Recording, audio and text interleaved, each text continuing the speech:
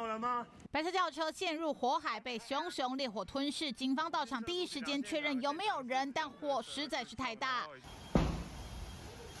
引擎室传出爆炸声响，烈焰继续狂烧。车子会起火是因为驾驶冲撞了停在路边的货车，两车撞出监视器画面，还波及另一台车。猛撞之下，白色轿车引擎室开始窜烟，瞬间起火。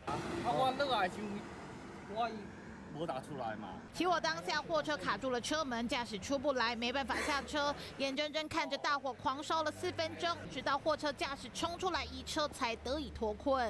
啊，他自称看到黑影窜出，啊，失控撞击路边的两部自小客车。彰化这名驾驶自撞起火，台中的这台货车则是开到一半，底部开始窜烟。